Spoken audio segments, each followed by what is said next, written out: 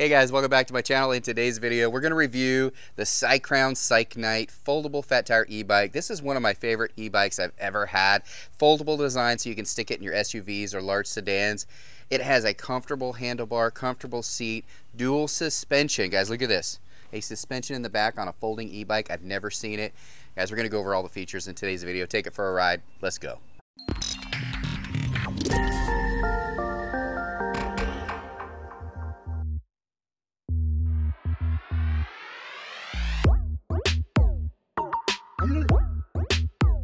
All right, let's take this thing for a ride. First thing I noticed right off the bat, comfortable, unbelievably comfortable. Favorite e-bike for comfort that I've ever ridden, and it's a foldable e-bike, which is crazy. So uh, I'm here on uh, pedal assist level one, so I am fully throttled. It's giving me 9.6 miles per hour. Now that is the first level of pedal assist. So let's go up one level and I'll go ahead and crank it and see what we get. Now I'm not pedaling at all at this point. I am just simply throttling, I'm getting 10.9. So 10 point, oh, 11. So 11 on level two. We're gonna go level three. Now I'm starting to feel some torque. And we're getting 13.4, 13.5, 6. Okay, now it's starting to go up four. Now I'm cranking up to 16, 17. Let's go five. Now I'm flying. So I set this down to factory uh, settings because I did unlock this e-bike and I wanted to make sure that you saw what you get out of the bike, whether it's unlocked or not as far as the speed. It is regulated at 20 miles per hour, which I think is perfectly fast. As you can see, I'm just flying on this road right now. Let's make this turn. Nice, comfortable turn. I was going about 15 miles an hour around that corner very comfortable. So I'm going 20, I'm going up a hill, still getting 20. So it has the power to, to go much, much faster. In fact, e-bikes like this with this kind of power, you can usually get around 40 miles an hour with unlocking the speed limiter on these things.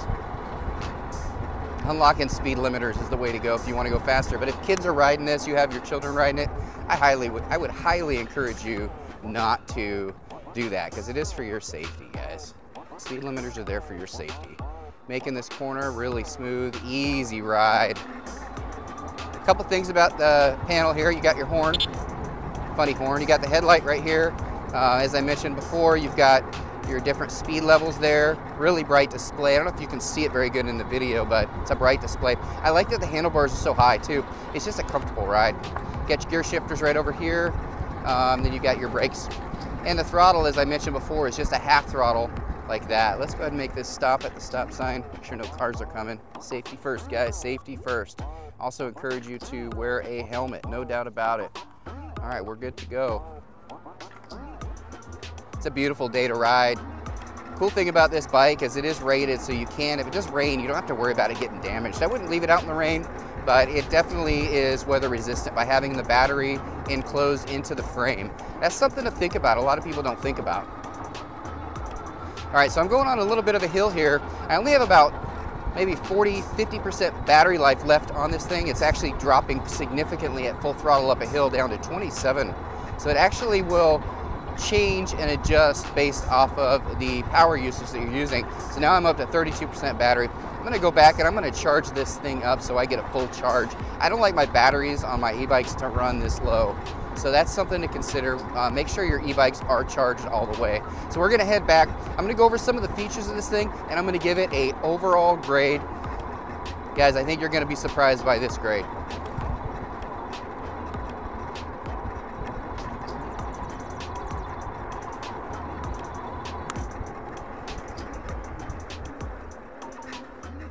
I hope you enjoyed the riding scenes on this. I wanted to give you a close-up look of what it's like to ride this thing.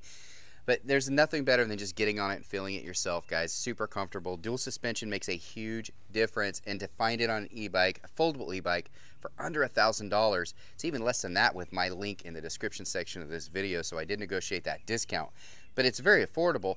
There's a couple cool things about this. Yes, it is a foldable design. So let me just show you really quick.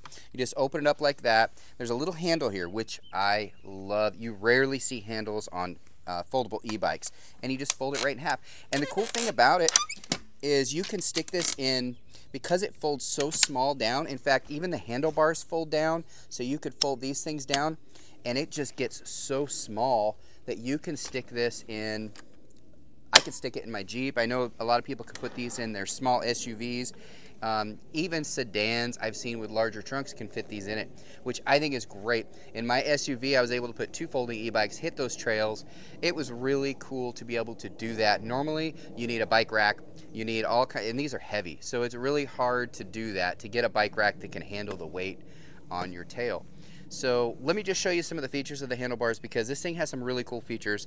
Um, not just the suspension, but the comfortable tires, the comfortable seat, the really big display. There's some cool features I want to show you. So let's get a little bit closer look on the handlebars. All right, close view on the handlebars here, guys. Now, I, I didn't even take the plastic off this thing. It's so brand new. Uh, but I've ridden it for about five miles, because I six miles, because I really wanted to get a good feel for it. So this is what the display looks like. Hopefully you can see it on the screen okay. And then you've got levels. So we've got up to five pedal assist levels. Now, that will show your speed. Your battery life is there, which I love that it has a number. Sometimes it's just bars or dots to have an actual number is great. And just to put it in perspective compared to my hand, it's a pretty big display. On the left side here, you do have your horn. You do have headlights, so it's got a real headlight, not just your normal reflector, so you can ride this at night safely. It does have a reflector as well, of course. And then over here, you've got your different modes. You also have your up and down on your deal. Now this right here is your power buttons. That's how you turn it on just by holding it down. Over here, you've got your keys. This is one set of keys. I have the other set of keys already on the bike because this bike does need to have the key in it and turned to operate. Not all e-bikes are that way, so that is a safety feature that I really like. It does have your gear shifter up here. It is a Shimano 7-speed shifter. You've got brakes both back and your front ones, and then over here you have your throttle. Now this is a half throttle, so you don't have the whole handlebar, just this little bit right here. Makes for more comfort, a safer ride by doing it. this is what that. you call a rear hub motor. So your motor is going to be right down here. It's a 500 watt motor, so that's going to get that power that you want to get up those hills, which I really like. A 500 watt motor for an e-bike, a foldable e-bike is pretty incredible. And as I mentioned, it does have your shocks right there. Now this is a rear uh, monoshock here. So it attaches directly to the frame right here in your seat. So you're going to get that extra good comfort. It also has a powered backlight right here, which is great for brakes. And in addition to this right here, you'll notice that there are, I don't know if you can see in the camera or not, but there's actually shocks within the seat as well. So you've got the coil shocks here. You've got the official one right here. I mean, this thing is extremely comfortable and it folds down really small. What's cool about folding down so small is, is even the pedals fold down. Check this out. The pedals, all you have to do is simply just push it up and up, and that just gives it, makes it much more compact.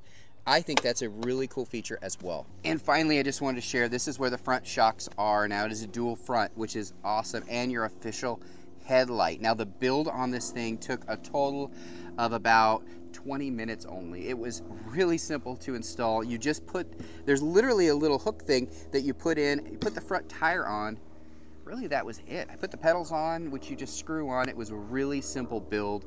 Now just a recap on this e-bike on some of the specs I know people are going to ask about. 500 watt motor, really powerful for a foldable e-bike. Going to get you up those hills on the trails, no problem. All weather conditions because you do have the fat tires. Again, it's 4 inches wide, 20 inches around, got lots of torque. As far as the suspension, again, front and back, it's got dual front and then the mono suspension in the back and a suspension seat with a really comfortable seat to begin with.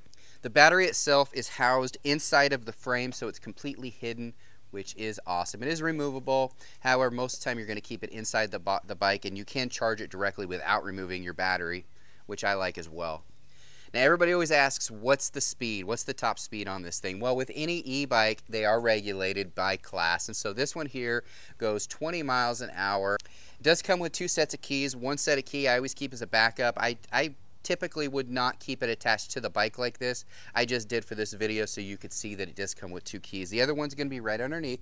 All right, guys, it's time for the fun stuff. It's the grading time. I do a CPV. I do comfort, performance, and value, and then I give an overall grade on all my e-bikes. So this e-bike here, again, this is the Cycrown Psych Knight.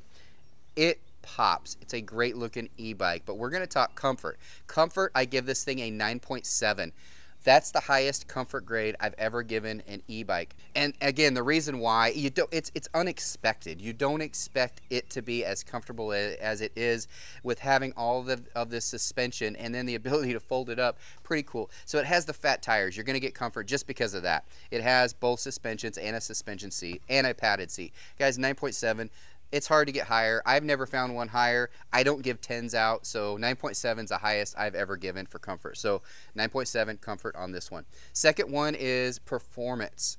Performance on this thing is good, not as good as a non-foldable design on some e-bikes I've done but that doesn't mean that it's not good. It's got a 500 watt motor, so you're gonna get lots of power. It's got a 48 mile range, which is incredible for a folding e-bike. Now, if you compare this to some other e-bikes I've done where you get 100 miles or 200 mile range, you can't compare it. This thing is a little bit heavier. It's a heavier foldable bike. So performance wise, I give it an 8.6, which is a really respectable score, honestly, on any e-bike to be able to get that. And I think it's because of the larger battery and the larger motor for a foldable e-bike. You're gonna get higher performance automatically. And finally, we're going to talk about value. Value is really important because that really determines the value of a bike. Because there's some bikes that are $2,000 bikes that really aren't worth $2,000 in my opinion. And there's $500 ones that have cheap components and it just doesn't perform well. This thing right here, I give a 9.2 on value, which is one of the highest scores I think I've ever given on an e-bike on value. Why is that? Because it has high quality components on your e-bike. It has a really cool foldable design, which is also a fat tire e-bike.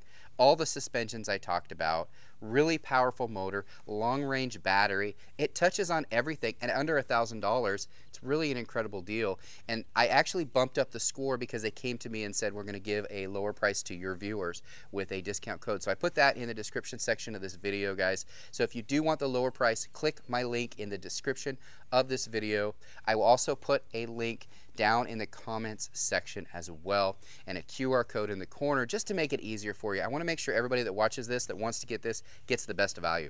Now overall score 9.4 highest score I've ever given on e-bike. Love this e-bike. It's the Cycknight. Guys if you like this video and you want to see more make sure you check out our other videos. Subscribe to our channel. Turn on notifications. Hit the thumbs up if you like this one right here. I love doing these videos. I want to do more. I want to do them for you. Thank you so much. Bye.